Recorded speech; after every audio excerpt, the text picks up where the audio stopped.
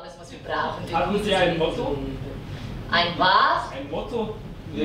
Ah! Ja, das ist mein Lebensmotto. Schmerz ist relativ heute. Doch willst du auch Massage kommen? Komm her, ich zeig dir, was Krankenmassage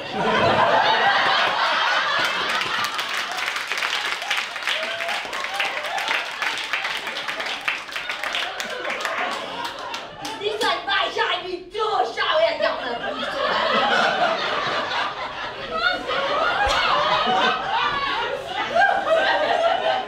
Und nachher nochmal, das schaffen wir nicht hier. Ich kann